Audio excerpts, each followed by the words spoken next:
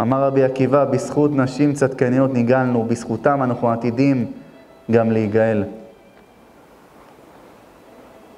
באה לאיזה מישהי פעם אחת בסוף שיעור, אני, רק אחרי שהיא הסכימה אני מספר את זה.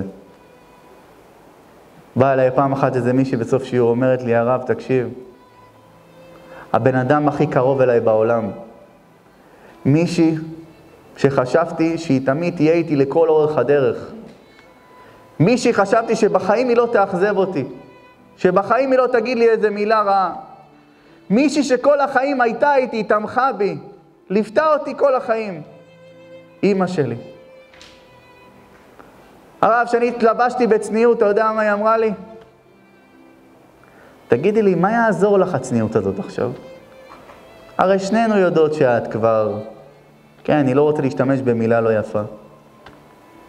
ששום דבר לא יעזור לך. את עברת כל גבול אפשרי. אני צריכה לשמוע דבר כזה מאמא שלי.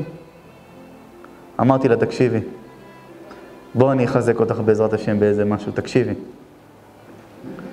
אומרת התורה, אומרת הגמרא, מסכת מגילה, אומרת ששמונה נביאים כהנים יצאו ממי מרחב הזונה, ואלו הם נריה, ברוך, צריה, מחסיה, ירמיה, חלקיה, חנמל ושלום. ורבי יהודה אומר, אף חולדה הנביאה הם בבני בניה של רחב. רחב, אתם יודעים איזה רחב? רחב ש... שלא יודעים, יש מחלוקת. אם היא הייתה מזנה באוכל או מזנה כמו שהתורה קוראת לה. ואומרת התורה שארבעה נשים יפהפיות היו בעולם, שרה, אביגיל, רחב ואסתר המלכה, הייתה הכי יפה בעולם. הכי יפה בעולם. ואומר המדרש, תנא דבליהו זוטא, שאמרילה הייתה עם חמש מאות גברים, ואמרילה חמשת אלפים גברים. חמשת אלפים איש.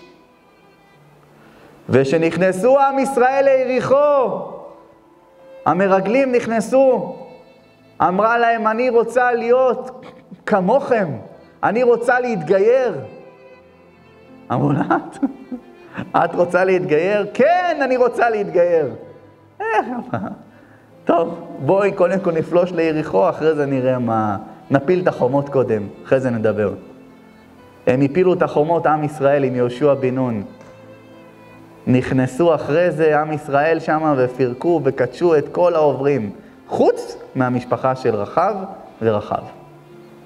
אחרי זה יצא אליהם החוצה, אומרת התורה, ושלושה ימים הייתה בוכה על הסלע, בבקשה, תגיירו אותי בבקשה. אנחנו לא יכולים לגייר אותך, גברת.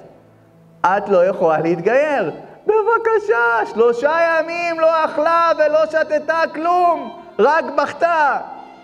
בבקשה, תגיירו אותי. גיירו אותה בסוף? גיירו אותה.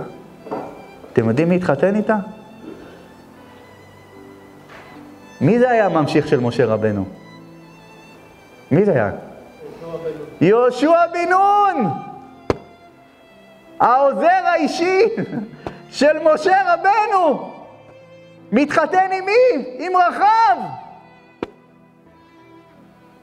אמר, זאתי? זאתי עושה תשובה מעל יתה? זאת האישה שאני רוצה. ואומרת התורה, יצאו אחריה שמונה נביאים, כהנים ומלכים. ממי? ממי שהייתה עם חמשת אלפים גברים.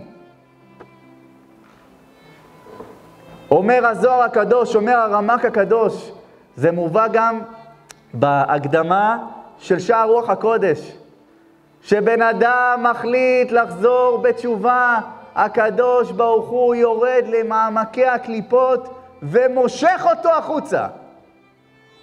ונותן לו יד ומושך אותו. רק מה צריך לבוא? צריכה לבוא החלטה שבן אדם מחליט לחזור בתשובה, אין דבר, אין דבר שיכול לעצור בעדו. כי הקדוש ברוך הוא בכבודו בעצמו עוזר לו.